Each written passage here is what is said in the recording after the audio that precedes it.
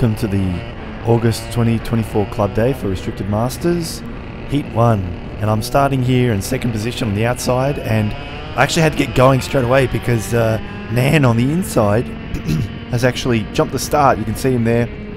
And on his side was Tim, who was right behind him. So Tim's gotten through. So I've gone from second on the grid down to third place. Um, and there's nine runners in this field. You can see them all lining up behind us and I am in my brand new X30 go-kart. Well, I shouldn't say brand new. The chassis is a little bit... It's done a couple of races and then I bought it near new basically. And this is my first time racing this thing. So as you know, I've had a Rotax for three years of my racing career. And uh, this is the first time I've had an X30 to race. So I'm very excited to see how I'm going to go. And you can tell probably immediately this thing is, is very, very good on the straights. You can see I'm catching up to Tim a little bit. Um, whereas with the Rotax, I always struggled with the straight line speeds. And there we go, catching up on the brakes as well. This chassis is very similar. It's a 6.2 instead of a 6 flat. Um, so theoretically it's faster. Though I've had some setup issues at the moment. Um, for whatever reason, I find it really difficult to get into this corner right there. And also turning here in the left. I'm missing that apex quite badly. So you can see Tim's gotten away from me there. So still got some work to do on the setup I think, but here we are, a little bit tighter here, and I'm very quick into this section here, and especially coming around this last hairpin. So I think I'm fairly close to Tim, but you just check out this engine. It is, uh, there we go, look at that, starting to pick up speed already. And then you can see Tim's getting a little bit sideways there, so I got a good run on in there, not only engine power, but also because he was sliding. And you can see when we're next to each other, we're very, very similar.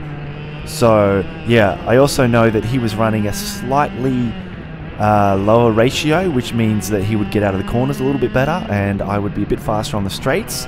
So you can see in this section here, Tim is really quick, and he's bumping me a little bit because he's uh, wanting me to get going, and I am losing a little bit of ground to Nan up ahead. Now, Nan is not normally at this club. He's normally racing at Todd Road. And you may remember the March Club Day I filmed, he was also in that event. Um, but this is not his home circuit. So yeah, really nice to have Nan with us because you can see, I mean, he, he banged it on pole for starters and now he's racing off into the distance in front of everybody. So he's a very, very, very quick driver. But we actually have the exact same setup because I have a 6.2 and he has a 6.2 and we both have the X30 engine as well. So I feel a little bit more complete as a driver now, having the proper machinery, the same as everybody else pretty much. So I'm excited to see how we're going to go. And you can see now I'm starting to pull away from Tim a little bit. And edging up to Nan just a little bit. Still getting over, having, trying to get over that curb, but really struggling. And coming out of there, I tell you what, the X30 is a lot better coming out of that corner than the Rotax was. The Rotax would normally kick in power about now, but um, was very good in the infield. Four laps to go, and you can see this is my uh, father doing a, a shot from the side. You can see we're all pretty evenly spaced out there. And Nan's starting to run into the people at the back of medium because we run two classes in this um, in this particular race. And uh, these guys have got not bad chassis probably, but it looks like the engines are very very slow, and they're also new to karting too. So um, we kind of come through them like a swarm of bees. I didn't want to chance it there, but you just watch this coming out of the corner. My my new engine has just got way more power than his has and straight past. So that was good. I managed to catch him at a part that I didn't get hang hold up too much. And you can see the long shot coming into the first corner. Really trying to catch it, catch up to Nan on the brakes, but just slightly. And you can see Tim is still there, just a second behind, possibly. Yep, really trying to get in there. I've noticed I'm having a lot of understeer with this card at the moment, especially in this section here. So this is something I need to work on to get a little bit faster. I should be going over that curb there on the left-hand side, and then coming up over this little hill. It very uh, oversteery there, but he's up behind someone, I think. So this is going to help us a little bit. And you can see he's really having to get out of the power there because they've completely blocked him and I've had to go up the inside here, had to get off the power a bit, but we're definitely closer. And you can see he's having to go a really tight line because that guy is very close to him and I managed to duck around the outside. So that was fortunate. I managed to gain a lot more ground on Nan here, so quite a bit closer.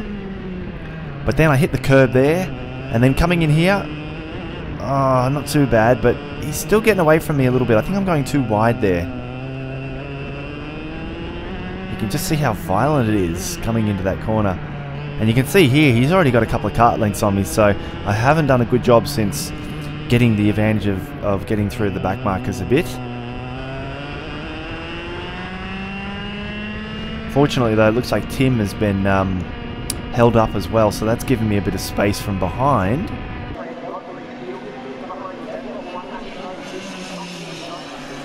And there we go, just oh, maybe a quarter of a second or half a second behind Nan there, pretty close. Still not close enough though, need to get a little bit closer. Got to be very tight in this section here. See, I'm getting a bit of oversteer into that corner. And you can see Nan's going over the curb on the inside there, but I've been trying to steer clear of it because I didn't want to get I didn't want to get caught on it, but I think I'm probably taking a little bit too much racetrack. And there again, I'm still not going over the curb there, so that's something I need to work on for Heat 2. I think I'm a, a fraction closer to him on this lap,